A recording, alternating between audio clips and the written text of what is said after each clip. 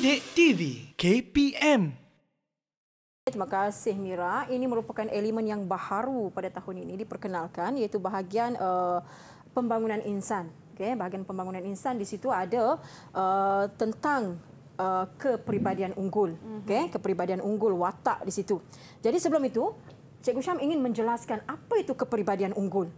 Okay, sebab ini merupakan elemen yang baharu dalam bahagian pembangunan insan.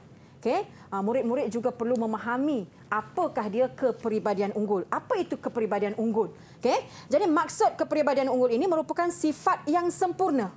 Okay? Sifat yang sempurna. Mm-hmm. Ingat kata kunci itu, sifat yang sempurna. Bagaimana sifat yang sempurna itu?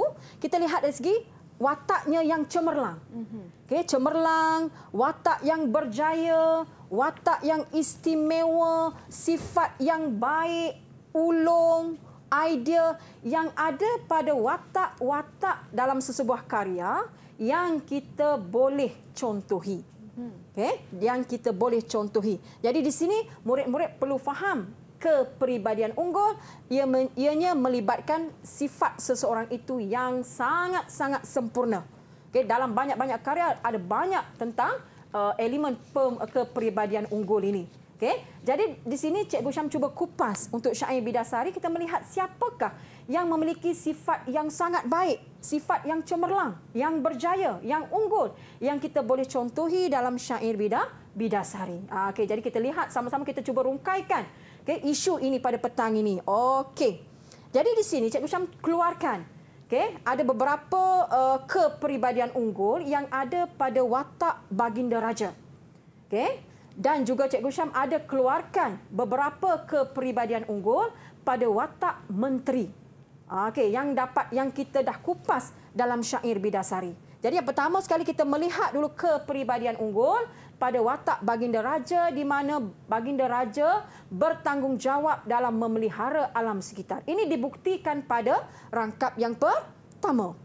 Okay, ini bukti pada rangkap yang pertama. Jadi di situ kepribadian unggul yang pertama sekali yang ada pada watak baginda raja ialah bertanggungjawab dalam memelihara alam sekitar. Itu yang pertama. Okey. Yang kedua di sini, okey, kepribadian unggul watak raja ataupun watak baginda di mana bagin di mana bersopan dalam memberi titah. Okey, bersopan dalam memberikan titah. Okey. Kemudian yang ketiga di sini ialah okey, uh, pemerintah atau raja yang sangat ditaati mm-hmm. oleh ketiga-ketiga menterinya. Itu tentang tiga uh, kepribadian unggul watak baginda yang terdapat dalam keseluruhan syair tersebut. Bermula pada rangkap yang pertama sehinggalah pada rangkap yang ke-8.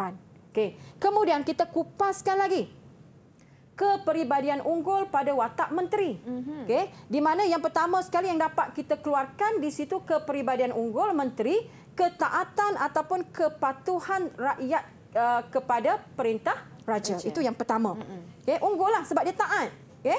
Kemudian yang kedua, gigih berusaha untuk mendapatkan sesuatu. sesuatu. Gigih juga merupakan sifat watak yang unggul. Okey, bagaimana kegigihan menteri tadi mencarikan air kepada baginda raja? Okey, ketaatan uh, menteri tadi bagaimana taatnya menteri pergi mencarikan uh, air walaupun berjalan keliling negeri keliling uh, okey mencari keliling hutan mencari uh, sungai dan telaga itu gigih okay, taat dan gigih di situ. Kemudian yang seterusnya ialah kejujuran rakyat menteri terhadap raja. Okay, jadi tiga di situ kita keluarkan kepribadian unggul untuk menteri dan tiga kepribadian unggul untuk watak baginda raja. Jadi kita cuba kupas di sini pada petang ini kita cuba berkongsi, kita cuba melihat bagaimana okay, bagaimana aa, ah, kita cuba melihat bagaimana kepribadian unggul pada watak baginda raja. Okay. Sebagaimana yang Cikgu Syam dah sebutkan tadi, okay, bertanggungjawab dalam menjaga alam sekitar. Bertanggungjawab ini merupakan sifat watak yang baik, yang ulung, yang ideal, yang cemerlang. Okay. Jadi bahuraiannya di mana? Baginda Raja mempersoalkan keadaan hutan yang kepanasan. kepanasan. Okay. Baginda Raja mempersoalkan kenapa hutan semakin panas. Okey, itu yang pertama. Yang kedua, di mana kepribadian unggul yang kedua ialah bersopan dalam memberi titah. Mm-hmm. Okay. Bersopan ini menunjukkan sifat yang baik, yang, baik, yang mm-hmm. unggul.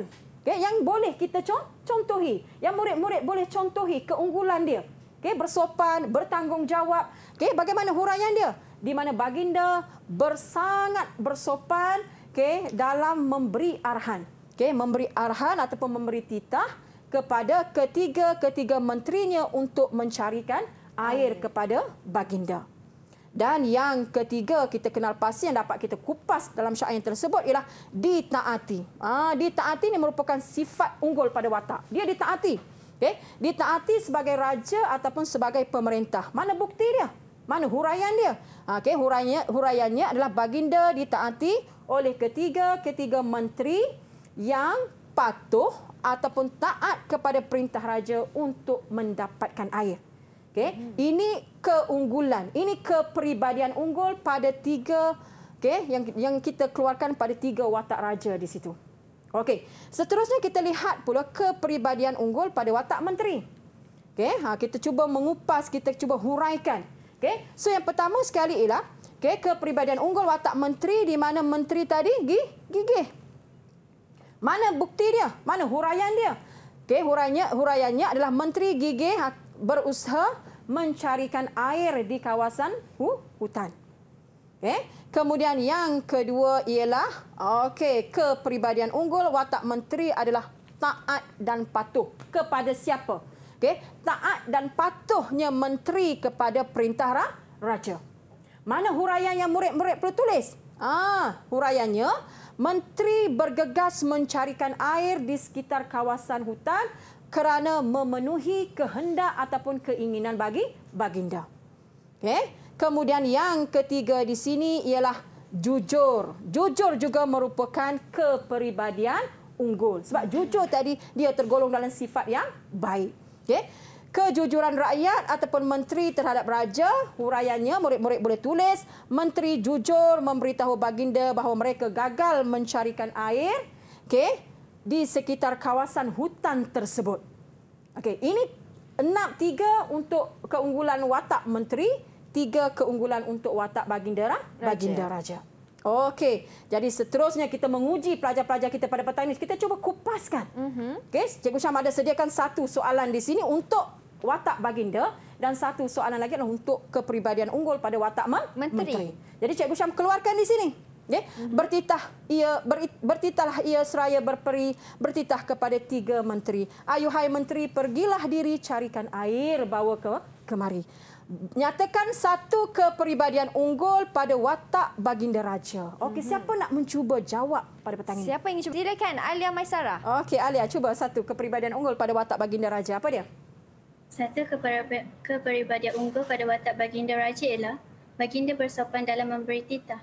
Sebagai contoh, baginda sangat sopan dalam memberi titah atau arahan kepada ketiga-tiga menteri untuk mencarikan air kepada baginda. Okey, bersopan dalam memberi titah. Okey, betul. So, okey, terima kasih uh, Alia kerana berani mencuba. Baiklah, okay. soalan uh, seterusnya cikgu. Seterusnya, okey. Mm-hmm. Ini soalan yang kedua. Kita Baiklah. lihat soalan yang kedua. Satu kepribadian unggul pada watak menteri diberikan di sini pada rangkap yang ke-8. Mm-hmm. Okey, kembalilah seorang menteri yang muda berdatang sembah kepada baginda, daulat tuanku duli seri pada beberapa dicari air nanti ada. Okey, satu kepribadian unggul pada watak menteri. Okey, siapa nak jawab? Silakan. Dengan pantasnya Zairin. Silakan Okey, Zairin silakan. Satu kepribadian unggul pada watak menteri ialah beliau seorang berus- gigih berusaha untuk mendapatkan sesuatu iaitu air. Sebagai contoh, menteri gigih berusaha untuk mendapatkan air bagi memenuhi permintaan raja.